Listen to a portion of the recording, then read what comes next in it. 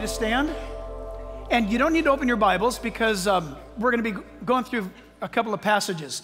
I'm going to ask you to look to the screens if you would, and um, I'll read the odd numbered verses. If you would join in reading uh, the even numbered verses, we'll go through three passages to set up today in a message that we are entitling, themed, Come Back California.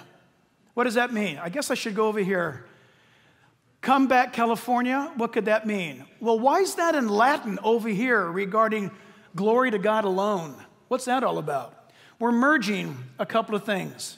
We're merging the fact that California was first visited by the gospel uh, in Latin by Father Serra back in the late 1700s, 1770s, 1777 and he planted 21 uh, missions up and down the state of California to propagate the gospel to the natives. The gospel was introduced to the west coast of the United States at the same time the colonial fathers were establishing a revolution on the east coast. Two things happening on both sides of this continent. When we talk about come back California, that's what you're going to hear about today. California needs to come back to its origin, and its origin is to come back to God very, very clearly to come back to its original founding to God. We'll start 1 Timothy chapter 2 verse 1. I'll begin if you would read verse 2. Therefore, I exalt first of all that supplications, prayers and intercessions and giving of thanks be made for all men.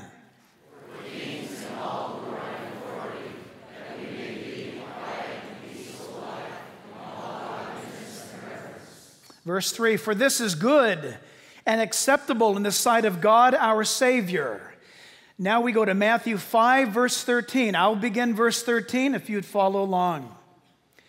You are the salt of the earth, but if the salt loses its flavor, how shall it be seasoned? It is then good for nothing but to be thrown out and trampled under the foot by men.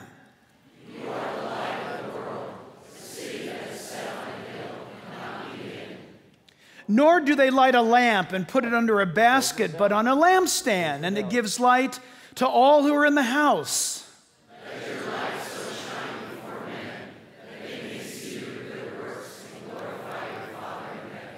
And then one final verse, and I'll read it out louder. Let's just do it together. It's one verse. Second Chronicles 7:14.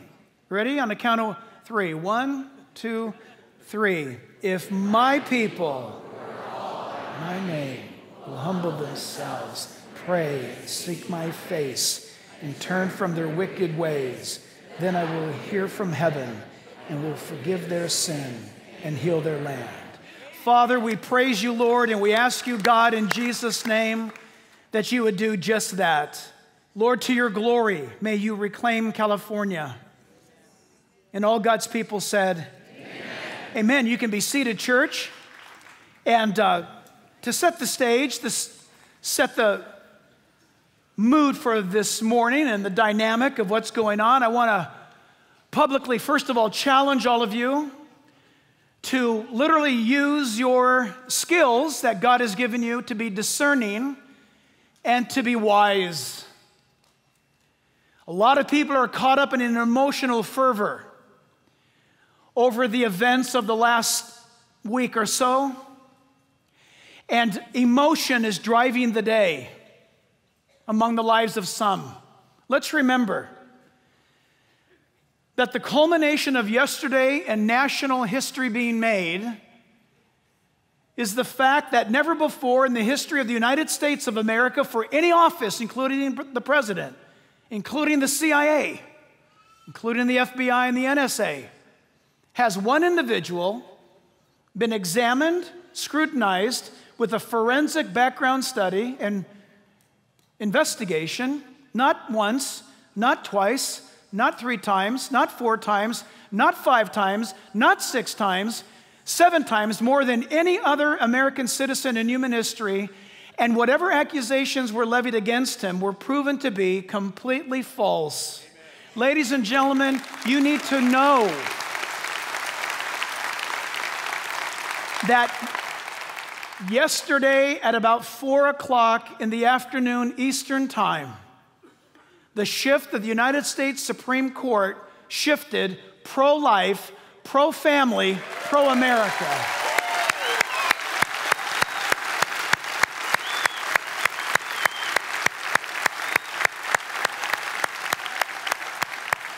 And that shouldn't surprise any of us. We learned from then President John Adams, quote, the general principles on which the fathers, that's the Pilgrim Fathers, achieved independence were the general principles of Christianity, said Adams.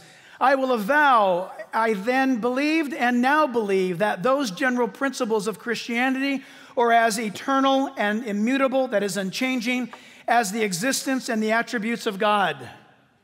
John Adams also said on June in 1776 in his writings, Thoughts on Government, quote, It is the duty of all men in society publicly and at stated seasons to worship the Supreme Being, the, the great creator and preserver of the universe, and no subject shall be hurt, molested, restrained in his person, liberty, or estate for worshiping God in the manner most agreeable to the dictates of his own conscience, or for his religious profession or sentiments, provided he doth not disturb the public peace or obstruct others in their religious worship. John Adams again said, quote, suppose a nation in some distant region should take the Bible for their only law book and every member should regulate his conduct by the precepts there exhibited. What a utopia! What a paradise! Or would this region be? Those were the opinions of John Adams, but he wasn't alone, by no means. This next picture I want to show you in setting up today is quite to me inspiring because a man in, uh, from England adopted, when he heard about the criticism, his own king in England began to mock and ridicule the Black Robe Regiment. In fact, it was King George III in England prior to the Revolutionary period that saw the rise of liberty and freedom in the hearts of his colonialists, his subjects, loyal subjects in America, that they began to burn within them regarding the concept of liberty. And all critics agree that that concept came from the pulpits, and King George said that it's coming from those of the Black Robe Regiment. There's the, there's the militia, the armed militia of America, and then there's others that are in the pulpit and they're armed with the Bible. And he called them the Black Robe Regiment. It was a, a derogatory term, but it so caught the heart of a guy by the name of George Whitefield. Have you ever heard about him?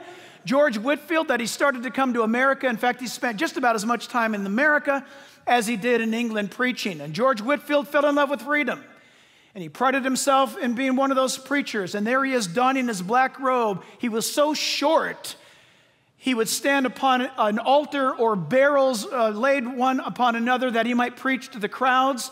In one moment uh, at Harvard University, it was said that Ben Franklin estimated that there was some 35,000 people listening to George Whitefield preach. By the way, there was one particular founding father that so believed in what Whitefield was doing that he actually funded George Whitefield's crusades in the United States or the colonies. Do you guys know who that is? Say it again. Ben Franklin. Ben Franklin pulled out his checkbook, as it were, and funded the ministry ventures of George Whitefield. Remarkable. What did they preach about? What did they say? Yes, they gave the gospel, which, by the way, if you're a stranger here today, let's give it, right? The Bible says that Jesus Christ is God in human skin, that he came from heaven to earth. He lived a perfect life because the Bible says he was born of a virgin and he himself, being God manifested in human flesh, died on the cross for the sins of all mankind. The Bible says because death could not hold him down, because he was sinless, that on the third day, Jesus Christ, according to the scriptures, rose again from the dead. And Jesus Christ, after the culmination of his earthly ministry, the Bible says, ascended back to heaven. He died for your sins and mine, and there's no salvation apart from Jesus. That's what Whitefield preached. That's what every faithful pulpit in America preached. And that's what every pulpit in America ought to be preaching today that there's salvation in Jesus and Him alone. But beyond that, what did they preach? What did they say? Let's put the first sermon up. This should not surprise us. First sermon, we see a sermon here. Notice this a sermon of the colonial period, a sermon preached before His Excellency John Hancock.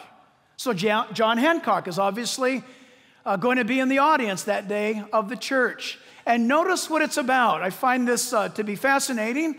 Uh, this is a sermon preached by Jonas Clarke, a remarkable patriot, a remarkable soldier, a remarkable pastor. And what was he preaching? He was preaching a message on the election. On the election. Next slide. What did they preach? Here's a discourse from the book of Revelation, and it's on the occasion by the earthquakes in November 1755. The pastor, which by the way, I love this man, Jonathan Mayhew. I mean, I never met him. I'm going to meet him later in heaven, but I've read about him. I feel like I know him. John, Jonathan Mayhew uh, was one of those Black Robe Regiment pastors, and um, he was so instrumental in creating the atmosphere of the defense of liberty and freedom that King George III e- issued an edict that if you find, if any one of the uh, British subjects or the British uh, military finds Jonathan Mayhew without trial, he's to be hung before the sun is set on that day. Why? Because he preached liberty and faithfulness to God and not an imposing government. And King George III considered him a traitor to the crown of England. Next slide. What did they preach? A discourse on the good news from a far country delivered July 24th.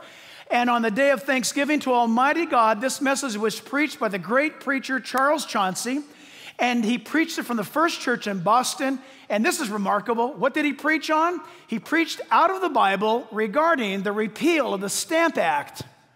He talked about Pharaoh and he talked about the Egyptians being taxed and labored to their almost to their destruction.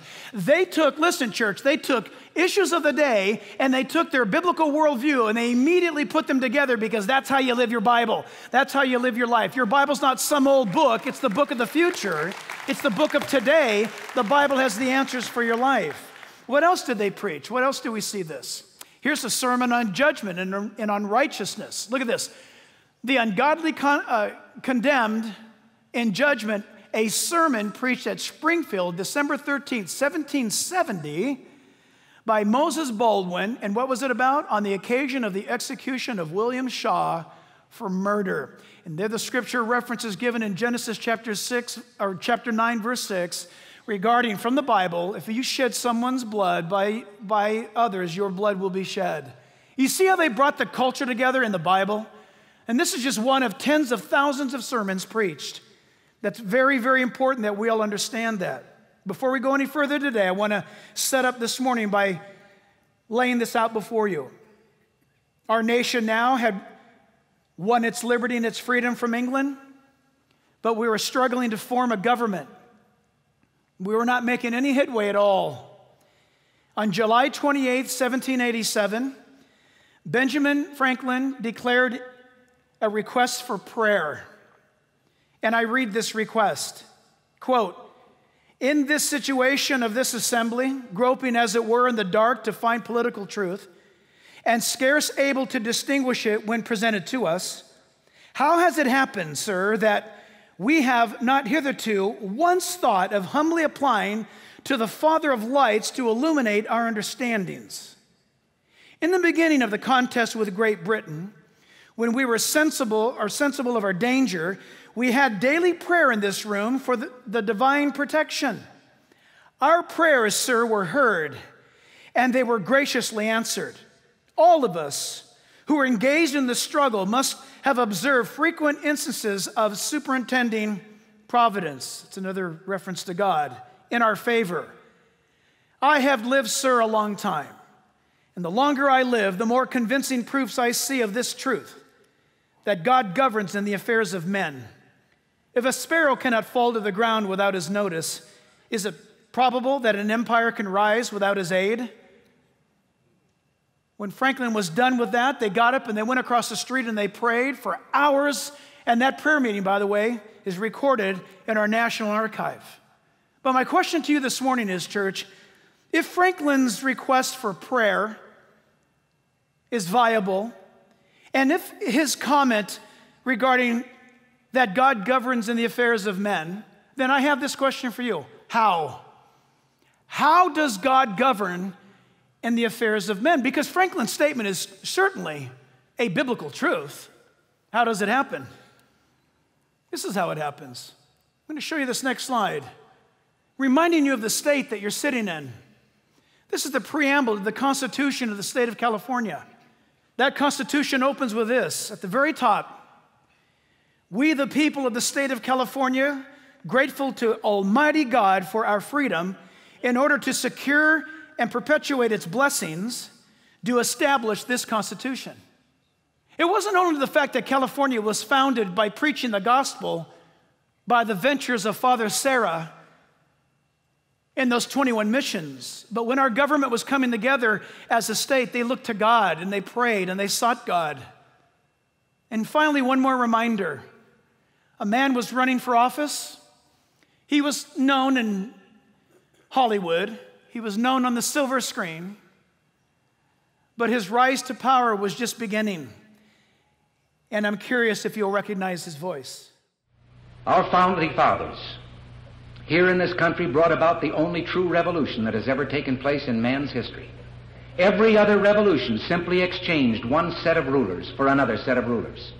But only here did that little band of men so advance beyond their time that the world has never seen their like since evolve the idea that you and I have within ourselves the God given right and the ability to determine our own destiny. But freedom is never more than one generation away from extinction. We didn't pass it on to our children in the bloodstream. The only way they can inherit the freedom we have known is if we fight for it, protect it, defend it, and then hand it to them with the well taught lessons of how they in their lifetime must do the same. And if you and I don't do this, then you and I may well spend our sunset years telling our children and our children's children what it once was like in America when men were free. Thank you.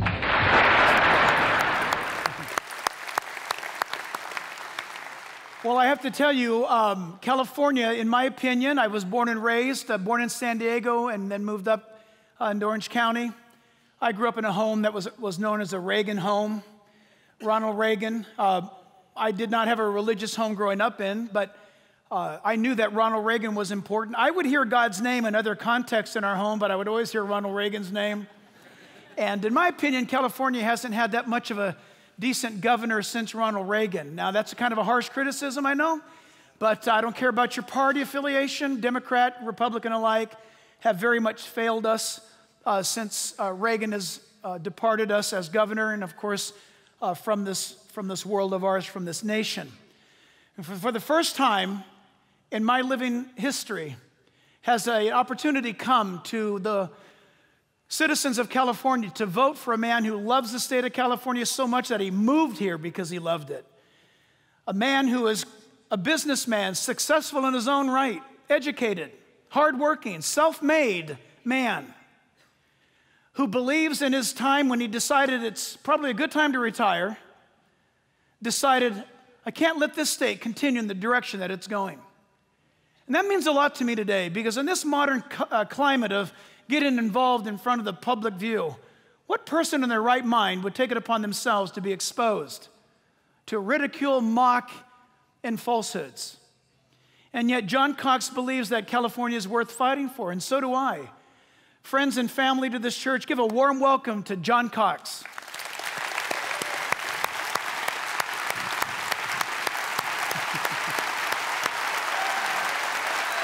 Thank you.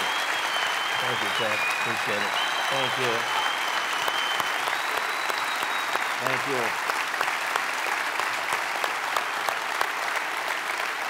Thank you. Thank you.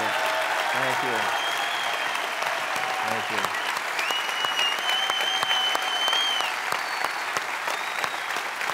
Thank you can be seated. Welcome, John. Well, that's a great welcome. Thank you. and Ronald Reagan was from Illinois, too. Oh, my goodness. Of course. Yeah.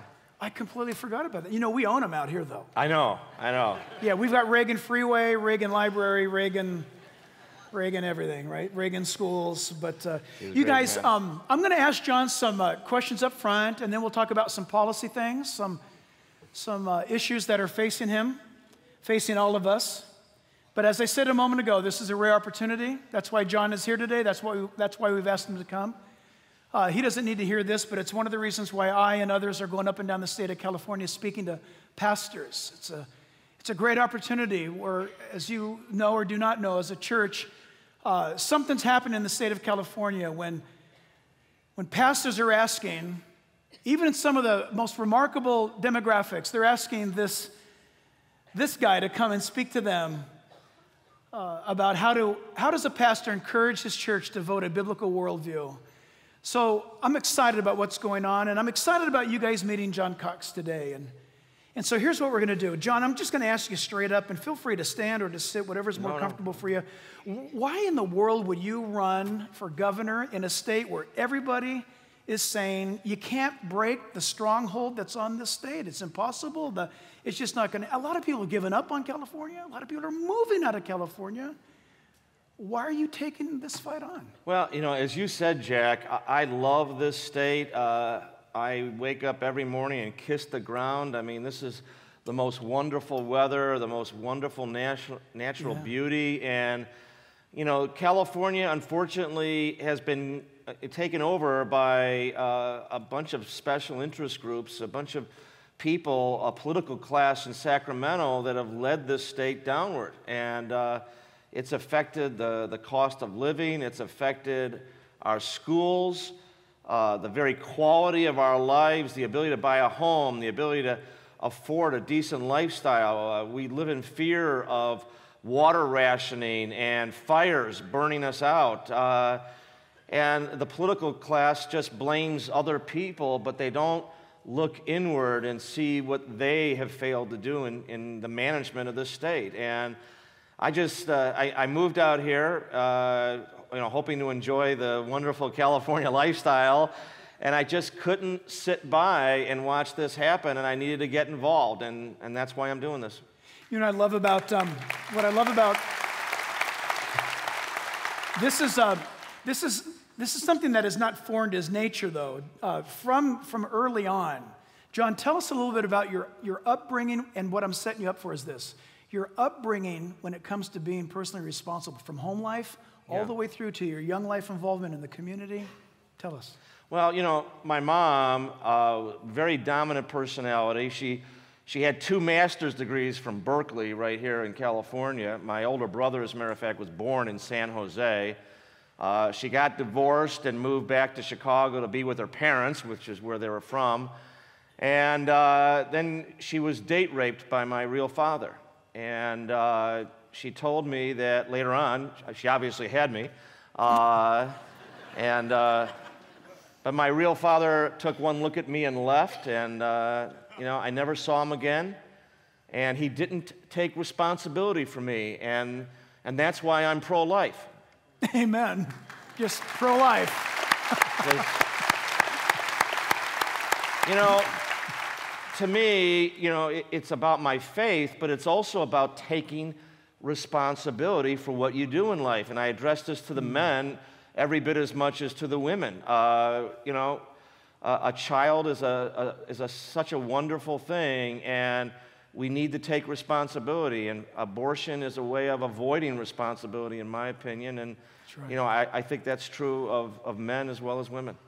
Amen. That's excellent. You um, tell us about how that sense of responsibility, because growing up in a home where there's absence, which, by the way, my heart resonates with you because um, my biological father, uh, when found out that my mom was pregnant, uh, he wound up going to Alaska and made it clear to her that when I come back, I'll be back in about a year. I want to make sure this baby's gone, that you take care of this baby.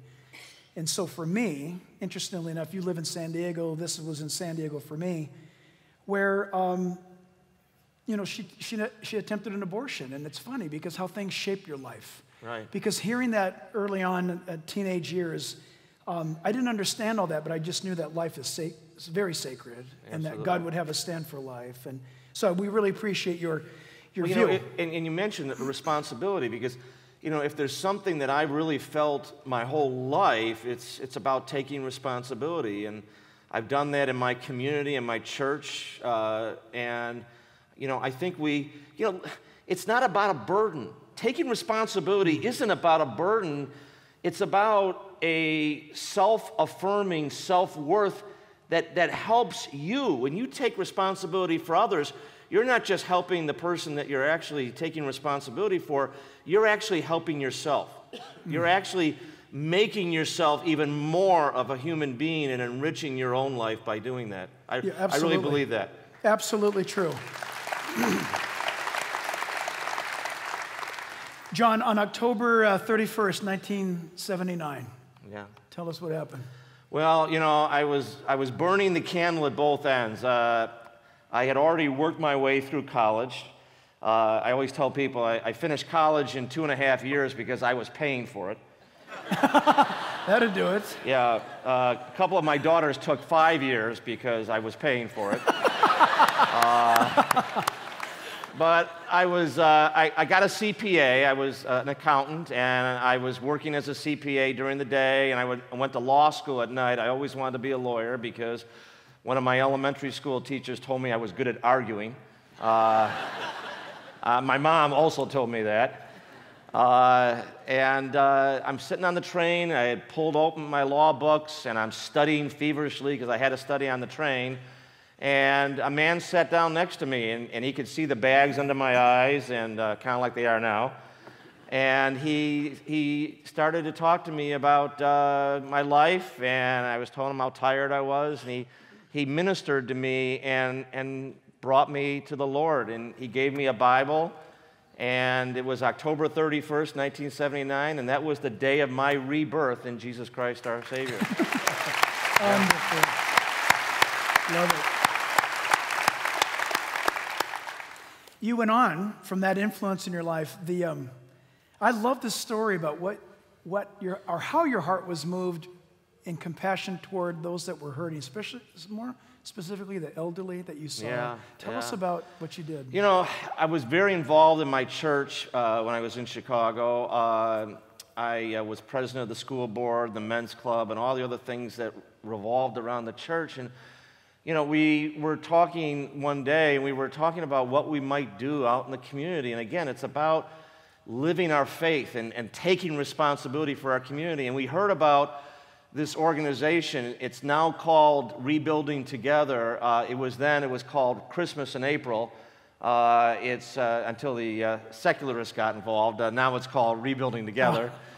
And it was started in Midland, Texas by a, a Sunday school uh, teacher who said the same thing. Why don't we go and take care of our community? Why don't we live out our faith? And to me, that's what, that's what you know, uh, our faith teaches us. And so we formed a group, we recruited a board, and we started this charity in our community. And it repairs the homes of elderly, low income, low income, low income elderly and disabled people who, let's face it, you know, they're living on Social Security or something, and they can't afford to paint their house. They can't afford to fix things. They can't afford to, you know, do the, do the basic things for their home that we take for granted that we're able to do by, you know, ourselves or by hiring people. And so every year on the last Saturday in April, we get together. Uh, every year we've had about a thousand volunteers, and we've done about 50 homes. And so now in these last 26 years or so, uh, we've repaired almost 1,500 homes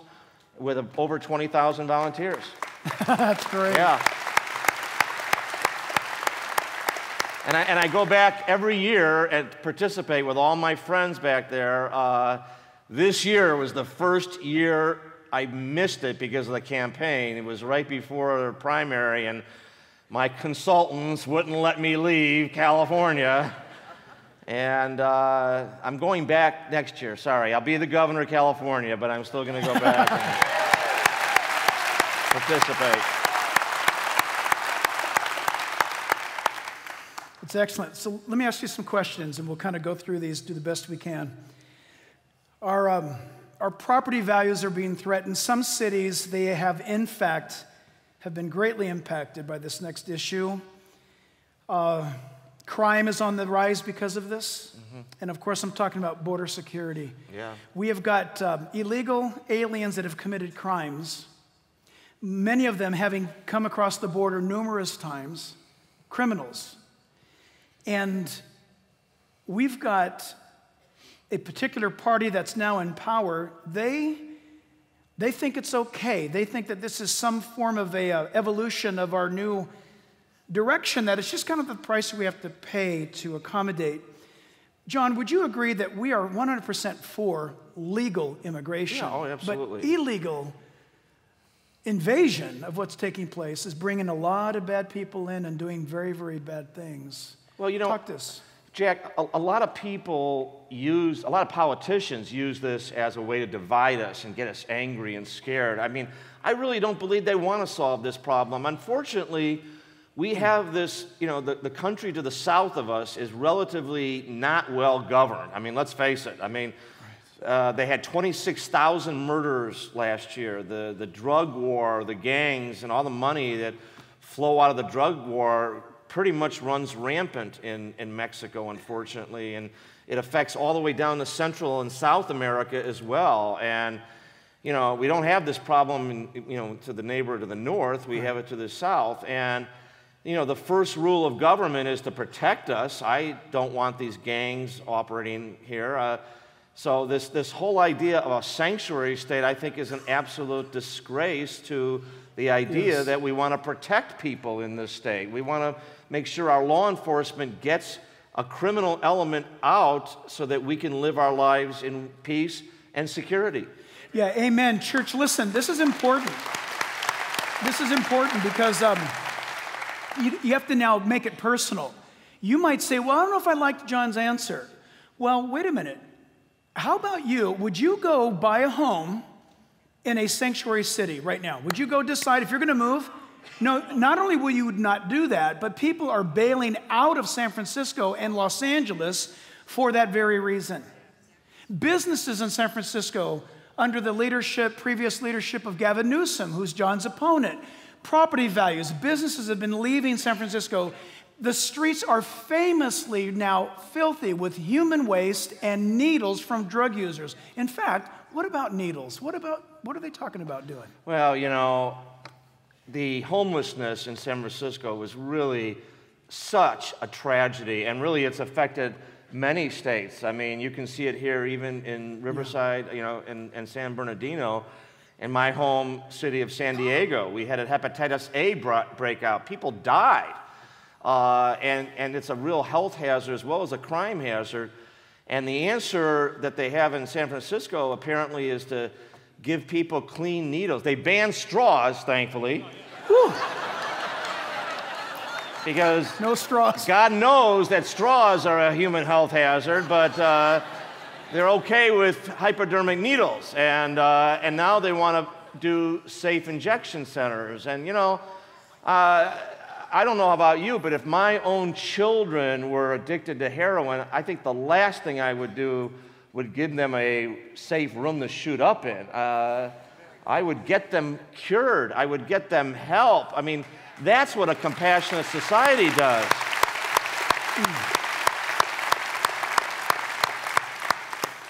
Wow. Let's talk about, uh, and this is sensitive, this is a sensitive thing for us. I, I shouldn't say sensitive, passionate.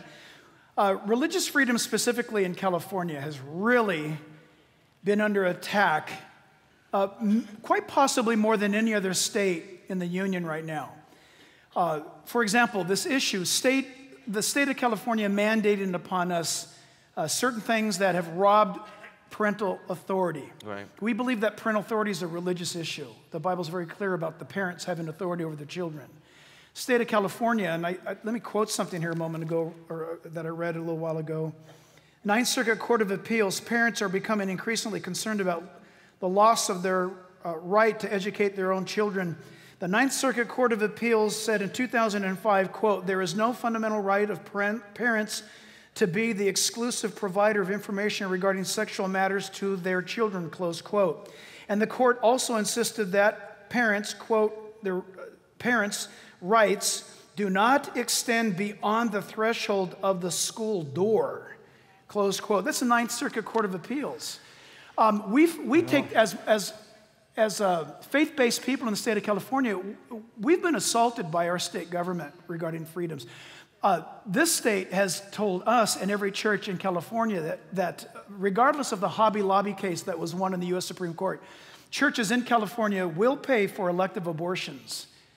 And we have failed to comply with that mandate by the governor's office. We're currently in a lawsuit uh, with the state of California on this. Uh, we're glad that it's, I've been told that we'll go to the Supreme Court, especially in light of yesterday's change. I'm very happy about that. So, my point, my point is, John, what role does the state of California have over religious freedoms? Well, you know, one of my favorite expressions, Jack, is that you will be made to care. And that's mm. what the state legislature and the public officials, the Ninth Circuit, are doing with parents. Uh, I believe, as you do, that parents have dominion over their children. Uh, that's right. Amen. I mean, who's going to care? Who is really going to care for your children more than you as a parent? I mean, nobody. Uh, no. And the reason that this has infiltrated our public schools is, is all about money and values. Uh, you know, so, somebody asked Willie Sutton why he robbed banks and uh, he was a famous bank robber. Uh, and he said, Really? Uh, that's where the money is. and, and that's why the politicians want to run the schools and want to run our lives, because that's where the money is. Yep. And it's all about power and control. And if they can, you know, in, inculcate, in, if they can inject their mm-hmm. values into the schools, that's one more element of power and control. And I want parents to have control and power over their children. Amen. Not the politicians. This is a tough one. California has always been, uh, in its history, uh, the very trendsetter in all kinds of things, not only from fashion, the Hollywood scene, uh, movie production, uh, music, and all of that stuff, but uh, going way back. I'm talking way back from Father Serra's day Yes, but uh, by the way, remember this there's no other state in the United States that has 21 missions that were established yeah. to preach the gospel. No other state. Yeah. But having said that, there's no other state in the nation that had a gold rush like California. There's no other state that has created and established the aviation and space technology industry Absolutely. but California. California, the computer was born in California. Think about that. Silicon Valley, the technology is still continuing to be born here. California had the greatest public transportation highways in the world at one point. Yep. California. California, known. What is California known for also? The, the, bread, the sa- salad bowl of the nation. Salad bowl. California exported more food out to the nation and the world than any other state. California, on and on it goes. We have sunk from being the fifth or sixth largest economy among nations on the earth, and we're sinking. And one of those things is that we were the bastion of education for great high level ed- education. We, we throw now more money at our education system than I think than any other state. Maybe, maybe, there's, maybe Maine or Massachusetts is higher than us. Uh, we spend more money to educate one child, and yet the data shows that that result is the opposite. Let me read this to you. California schools consistently rank among the worst in the nation 29.2% of fourth graders in the state of California are proficient in math. 27.8 are proficient in reading, and less than 30% of fourth graders in California are proficient in either both math and reading. John, what's your solution for California's low performance in our education system? Well, you know, teaching, my mom was a school teacher. Uh, she cared about what she did, and you know, she didn't care for the fact that there might be teachers that didn't perform that well. I mean, there unfortunately some people just aren't cut out for teaching, and unfortunately, the system that's developed here just protects uh, those those teachers and makes it so it's impossible to fire uh, or or reallocate or reassign a, a teacher. Uh, I want teachers paid like rock stars and baseball players. Yeah, sure. I want, I want teachers to be treated like the professionals they truly are. and not to be just protected at all costs. Yes. Uh, I'd love for there to be a bidding war for good teachers. Wouldn't that be great? yes, Wouldn't that would we know be great. that? Wouldn't we know that our children are getting the right education? Yes. You know, one statistic, Jack, is that fully half of our public school children today aren't reading to grade level in our California schools. And my mom was a librarian. She taught reading and she instilled in my brothers and I the absolute need to be able to read. I mean, that's the bedrock mm-hmm. of our education. And the idea that half of our school children aren't able to read the grade level means that we're going to be populating our prisons a lot more than they should be, that's for sure. That's right. Horace Greeley said, Go west, young man, go west. Because there was opportunity out west. And we've all been affected by friends and family that have said, I'm leaving, I'm leaving California. Some have said, I'm leaving California because it's nuts. It's not what it used to be. I understand that. Some of you, or some of them, had to leave because their businesses, like Toyota in Los Angeles, up and left us and took thousands and thousands of jobs, as you all know. This is continuing to escalate. It's a sad thing that a state so great, that a state that is, as you said earlier, has been so blessed with natural beauty and the ability to do amazing things. John, why would somebody that's here right now or somebody that's watching, they're on the fence. They're thinking, well, you know what? I mean, I've, you know, I, maybe I should just keep voting the party line, or maybe I don't know. John, tell them why should they vote for you regarding what's what the crisis of California is from housing to jobs not being able to make it here anymore. The message of our campaign is that help is on the way. And, and that's truly the, the case because, you know, most people are working. I mean, uh, thank God, you know, uh, we've gotten a great economy now. Uh, we're actually achieving levels of growth that we haven't seen in a decade uh, around the country. And so most Californians are employed, but they're finding that they can't afford a truly decent lifestyle in the state. Uh, the cost of gasoline, the cost, you know, it's, it's over $4 a gallon, and I'm telling you right now, it's heading to five before you know it. Uh, and the cost of housing, I build apartments for a living. I got into the uh, real estate business uh, 30 years ago, and I build apartments in other states for a good one fourth of what it costs to build in California. That's ridiculous. And the price of lumber isn't more in those other, or isn't less in those other states. The price of appliances and windows and roofing and bricks, they're not much less in those other states. You know what's different in those other states is government. That's right. California, with the lawsuits, the taxes, the delays, the mandates, have driven up the cost of housing to where people just can't afford to live. Uh, I toured the Sriracha plant in Los Angeles as part of my bus tour that we just got done. Uh, I'm sure you all like Sriracha. Yeah, amen. I, I had Sriracha ice cream. And it had a kick to it, I want to tell you right now. and I'm listening to one of the workers there, uh, Philippe, and he was telling me he has to drive 40 minutes to get to work. That's the first thing.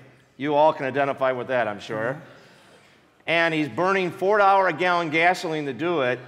And then on top of that, he's living in a one bedroom apartment with himself and four children. And he's paying $1,500 a month for this one bedroom apartment. Yep. And I thought, I said to him, I said, that is a tough lifestyle. Why don't you leave California? And he said, What? And leave my Dodgers?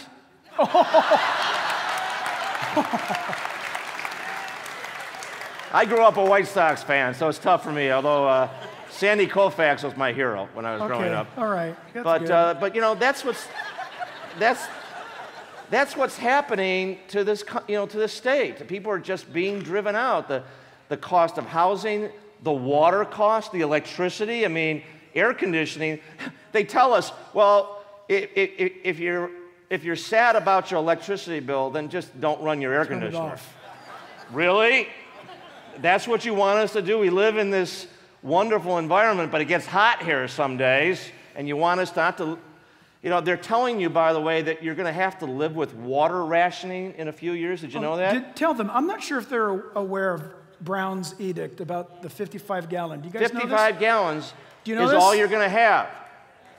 California is going to be renamed Smelly California because you're not going to be able to take a bath in this state in a few years. Brown is promoting you showering every other day, like he does. Oh, now let's not get personal, Jack. I mean, you know, Have you met Jerry Brown? I'm kidding. no, I. uh, thankfully, I haven't met him yet. no. Here's the here's the thing about water. John and I share John and I share something about water. We've watched Israel become Yes. the first water independent nation on earth. Yes. And they're listen, they're pulling water from the Mediterranean. Okay, the Mediterranean. Okay, we have the Pacific. And listen, John, can I make up this policy for you right now? okay. You guys, if the if global warming's true and the caps are melting, then the seas are rising. If you're concerned about the seas rising, then have Governor John Cox build desalinization plants to pull water from the ocean and, and water California. This state is known for its technology achievements. We've got the brain power. We've got Caltech. We've got Stanford. They can pull it off.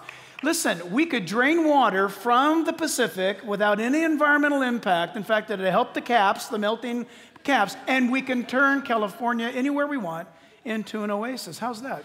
You know, listen, I, I think it's a great idea. And you know, let's let's also recycle. Let's Yes. let's make sure that we keep our valuable water, but we also need to build reservoirs in the north, especially where we have snow Yes, melt and yes. everything. I mean, you know, listen, we love this state. It's grown wonderfully. We want our children to stay here. We want the state to be available for our children. We certainly, I don't feel it's my place to tell people not to have children. Uh, that's God's bounty to us, and we should make sure that everybody has the ability and the freedom to be able to have children. And in order to do that, we're going to need to provide for water and for electricity and for all the comforts and the wonderful things that, that we've been able to generate for ourselves. John, um, I don't know why. Maybe somebody does. Maybe you know why. It's, the uh, San Onofre nuclear power plant has been decommissioned now. Yeah. It's going offline. Yeah. Um, I forget how old it is, but I remember growing up as a kid driving up the 5 freeway seeing that thing. But there was never, it was a great source of power. Uh, we, had, we didn't have any uh, dangers with it. Why, in your opinion, is California not building more of those types of fantastic, I don't proven know industries? exactly. I mean, I, obviously, I'm worried about a uh, nuclear reactor sitting on a active fault. Of course. Uh, and frankly, you know, right next to the ocean may not be the best place either. You know, I mean, but a, a lot of countries of the world, France for France. one, generates most of their electricity from nuclear sources. It's the cleanest en- energy. It doesn't produce any pollutants, although you know there is a waste problem, and you know they re-enrich it down to a small amount, and you know they're able to deal with that. Uh, you know, listen, I, I believe we've got all these great sources. We need to explore all of them, and I want to make sure our environment is preserved. I want to make sure that we don't unleash nuclear terrors around uh, the state. I'm, I'm as concerned with that as everybody, but I think we can do it wisely and effectively and intelligently. And you know, the trouble is that political leaders sometimes get people scared because that's how Yes. they operate. I mean, that's what gets people interested in. And you know, let's just look at what we can do in terms of best practices and providing for our best, uh, our, our best electricity. Very good. We're almost done, you guys. Um, you touched on it a moment ago. We don't usually get into propositions here unless they threaten us in a biblical sense. There's so many of them. Yeah. Uh, for us, it started with Prop 8 way back when, which threatened, of course, Proposition 22 that preceded it.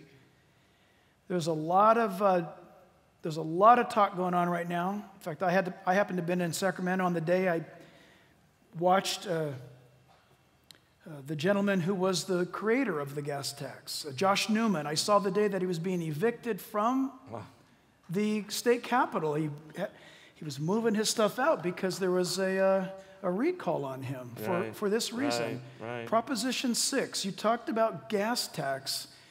Proposition 6 is going to appear on your ballot statewide, everybody. And um, what, do you think it's going to, by the way, I think if I have this, have this it's yes on 6. Okay? Yes on 6. I do not want gas tax, okay? Yeah, it's kind So- of a negative. yeah, thing. exactly. yeah, right.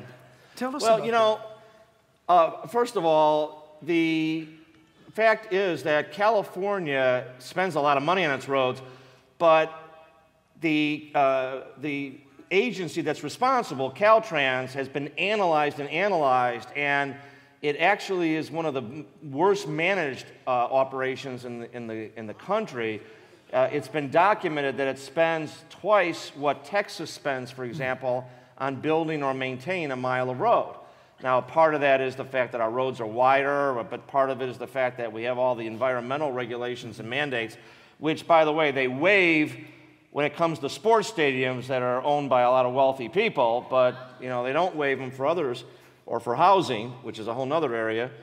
But you know we have to you know pay taxes. We don't like to pay taxes. Uh, you put up a slide of the, the Stamp Act, which our founders rebelled against the king on, uh, which was a minor tax compared to what we pay.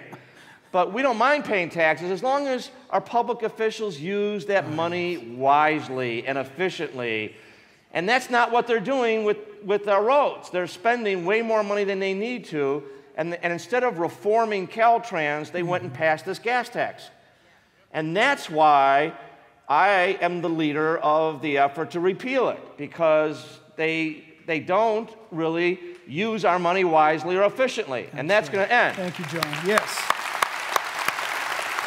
And let me tell you, you know, this, this proposition system is a uh, legacy. Uh, Hiram Johnson, uh, you know, who ran, I think, with Vice President, uh, you know, and Teddy Roosevelt ran.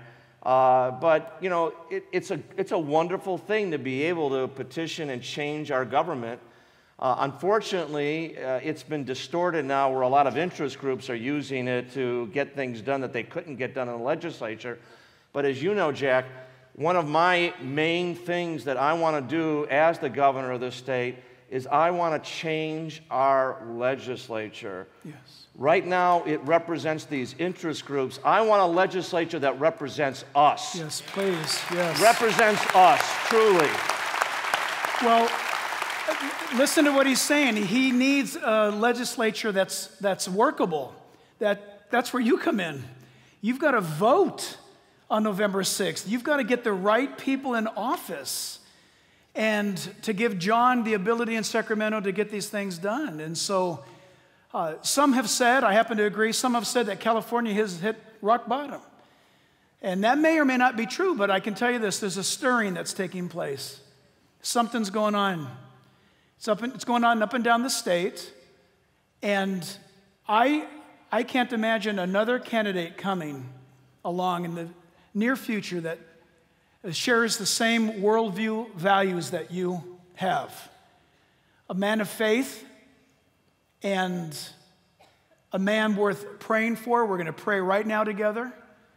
But we live in a republic, ladies and gentlemen, and because of neglect, under all of our watch, we have let others send the wrong people to Sacramento. And the Bible says in Proverbs 29, verse 2, that when the righteous are in power, the people rejoice. But when the wicked rule, the people groan. And California is groaning. It's not just us, there are many others waking up to the fact that California is groaning. And I love what John said hope is on the way. Listen, we all know this as believers. Salvation is not going to arrive on Air Force One or Sacramento. Salvation is in Jesus. That's settled. But God has given us, according to His word, the governments of the nations. We have the kind of government that we will allow. We have allowed a great government in California to run amok and to run a mess because we have been too busy.